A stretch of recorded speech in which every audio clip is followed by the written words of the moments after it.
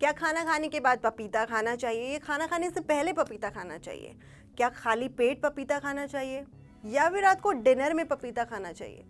पपीते से जुड़े हुए इतने सारे क्वेश्चंस हैं जिसके जवाब हम आपको इस वीडियो में देने वाले हैं। आप देख रहे हैं एनबीटी लाइव और मैं हूँ आपकी दोस्त सोनम। तो दोस्तों, पपीता खाना आई थिंक सबको ही पसंद होगा। ये एक ऐसा फ्रूट है जिसको लेकर काफ़ी सारे क्वेश्चन सबके जहन में आते हैं। मैंने भी जब वेट लॉस करने की कोशिश की थी, तब मुझे भी कईयों ने सजेस्ट किया था कि पपीता खाओ। खाली पेट खाओ, सुबह खाओ, दोपहर में खाओ, रात को खाओ। ये मेरे लिए भी एक कन्फ्यूज़न था। सिर्फ़ वेट लॉस ही नहीं, बल्कि पपीता आपको कई सारे फ़ायदे पहुंचाता है, जो मैं आपको वीडियो के एंड तक होते होते बता दूँगी। लेकिन पपीता किन लोगों को खाना चाहिए और किन लोगों को नहीं, ये भी एक क्वेश्चन आता है। अक्सर जो प्रेग्नेंट लेडीज़ होती हैं, उनको पपीता खाने के लिए मना किया जाता है और उन्हें पपीता खाना भी नहीं चाहिए। लेकिन जो नॉर्मल डाइट में पपीता खाते हैं, उनके लिए काफ़ी फ़ायदेमंद होता है पपीता। तो दोस्तों, जैसे कि पहला क्वेश्चन ये था कि क्या हम खाना खाने से पहले पपीता खाएँ या खाना खाने के बाद पपीता खाएँ? तो पपीता कब खाना है? दरअसल, पपीते के अंदर एक पैपिन एंजाइम होता है जो प्रोटीन के टूटने के लिए बहुत ज़्यादा ज़रूरी है। आप जब भी खाना खाते हैं, उससे एक घंटा पहले आप पपीता खा सकते हैं और एक घंटे के बाद आप पपीता खा सकते हैं। यानी कि जब भी आप पपीता खाएँ, उसके एक घंटे के आगे या एक घंटे के पीछे आप कुछ खाएँ, उसके साथ नहीं। ये आपको नुकसान पहुँचा सकता है। तो दोस्तों, जैसे कि हमें अब पता लग गया है कि पपीता हमें किस टाइम खाना चाहिए, यानी कि हमें खाली पेट पपीता खाना चाहिए। वो आप सुबह भी खा सकते हैं, दोपहर में भी खा सकते हैं और रात को भी खा सकते हैं। लेकिन उसके आगे पीछे आपको एक घंटे के ब्रेक के बीच में कुछ नहीं खाना है। वहीं अब हम पपीते के फ़ायदों के बारे में भी आपको बता देते हैं। पपीते आपको बहुत ज़्यादा फ़ायदे पहुंचाता है। पहले तो ये आपकी स्किन के लिए बहुत अच्छा होता है। अगर आप पपीता रेगुलर खाते हैं तो आपकी स्किन काफ़ी अच्छी हो सकती है। यानी कि आपके स्किन को वो सारे न्यूट्रिएंट्स मिल जाते हैं पपीते से जो स्किन को ग्लोइंग बनाने के लिए काफ़ी हेल्पफुल होते हैं। वहीं पपीता आपके पेट के लिए भी बहुत अच्छा होता है। अगर आप अपने डाइजेस्टिव सिस्टम को अच्छा रखना चाहते हैं तो आप अपनी डाइट में पपीता ज़रूर शामिल कीजिए। वहीं कब्ज़ में भी पपीता काफ़ी फ़ायदेमंद होता है। अगर आपको पहले से कब्ज़ की दिक्कत है तो आप पपीता रोज़ खाएँ और आप एक नियम बना लें कि आप एक टाइम बाँध लें कि हम पपीता इस टाइम खाएँगे। वो आपको बहुत फ़ायदे पहुंचाएगा और आपके एक बॉडी क्लॉक में शामिल हो जाएगा, जिससे उसके जो भी न्यूट्रिएंट्स हैं, वो आपकी बॉडी को प्रॉपर मिलते रहेंगे।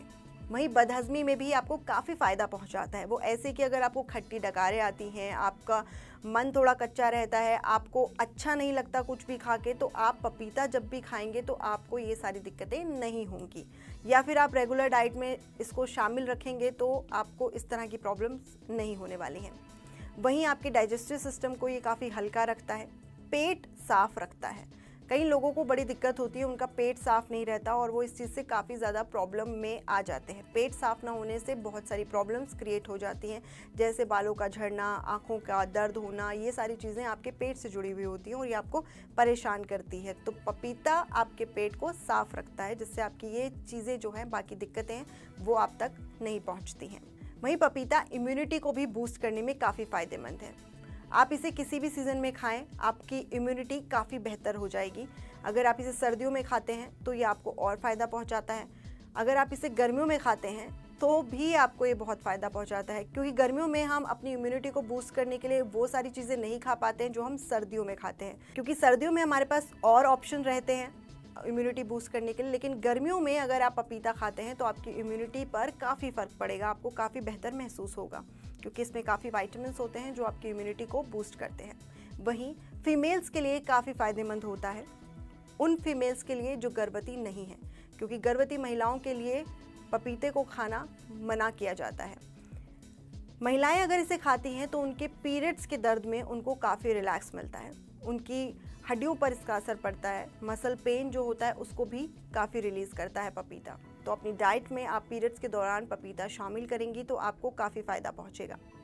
तो दोस्तों, जहाँ हमने आपको पपीते के फ़ायदे बताए, वहीं हम आपको इसके थोड़े से नुकसान भी बताने वाले हैं, क्योंकि ये बहुत ज़रूरी है जानना कि कुछ लोग ऐसे हैं जिन्हें बिल्कुल भी पपीता नहीं खाना चाहिए। जैसे कि मैंने आपको बताया कि प्रेग्नेंट लेडीज़ को तो बिल्कुल नहीं खाना चाहिए। वहीं जिन लोगों को किडनी की प्रॉब्लम और पथरी की प्रॉब्लम ऑलरेडी है, उन्हें भी नहीं खाना चाहिए, क्योंकि इसमें कैल्शियम ज़्यादा मात्रा में होता है, जो आपकी किडनी पर इफ़ेक्ट करता है। इसके साथ साथ और भी ऐसे न्यूट्रिएंट्स हैं, जो आपकी किडनी पर इफ़ेक्ट कर सकते हैं। अगर वो क्वांटिटी में ज़्यादा हो जाए तो। आप खा सकते हैं बट क्वांटिटी में ज़्यादा हो जाए तो इस बात का ध्यान रखें। और सबसे पहले आप अपने डॉक्टर की सलाह ज़रूर लें अपने खाने पीने को लेकर। वहीं दोस्तों, जिनको पीलिया या फिर अस्थमा, ये दोनों ही बीमारी होती है, उनको भी पपीता नहीं खाना चाहिए, क्योंकि इसमें बीटा कैरेटीन होता है पेपाइन होता है, जो नुकसान देता है पीलिया के मरीज़ों को और अस्थमा के मरीज़ों को तो उन्हें भी ये अवॉइड करना चाहिए। अगर आप खा रहे हैं तो अपने डॉक्टर से ज़रूर पूछ लीजिए, या आपने खा लिया तो उसके बाद भी पूछ लीजिए कि अब क्या करना है, क्योंकि कभी कभी ये नुकसान पहुँचा सकता है।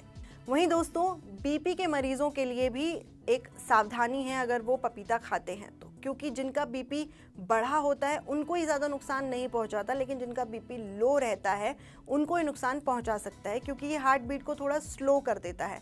और जिनका बीपी ऑलरेडी डाउन होता है, उनको ही नुकसान कर सकता है। तो प्लीज़ आप अपने डॉक्टर से एक बार ज़रूर सलाह लें, क्योंकि ये फल एक ऐसा फल है जो आपको बहुत सारे फ़ायदे पहुँचा सकता है, और इसके साइड इफ़ेक्ट्स भी उतने ही हो सकते हैं।